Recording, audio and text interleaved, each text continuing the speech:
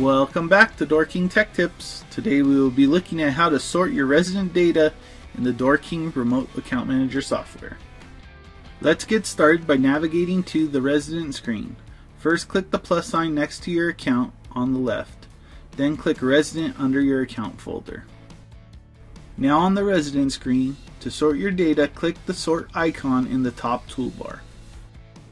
As you can see, there are many options that you can sort by. The most common use is to sort by device number. We use the sort function to find the ranges of device numbers used so that we can order new devices and not duplicate numbers. To demonstrate this function, I will select the sort by device number, then click OK. You will get a warning telling you residents and vendors will sort separately and that the device number won't line up with the resident name go ahead and click OK. As you can see, the device number column has been sorted from lowest number to highest number.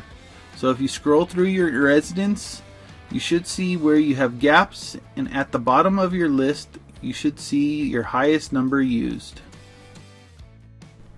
To unsort your data, simply click out of the resident screen, then click on resident again to see your resident screen back to its normal state of the resident names being sorted alphabetically.